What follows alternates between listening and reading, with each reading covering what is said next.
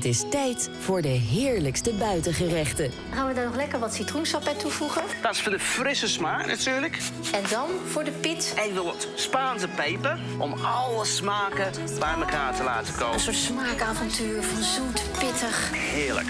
prachtige kleuren. Zo van de barbecue. Ziet dat er niet feestelijk uit? Mm, de lekkere smaken van de zomer. Lekker naar buiten en eten in de tuin. Elke werkdag om 4 uur bij 24 Kitchen.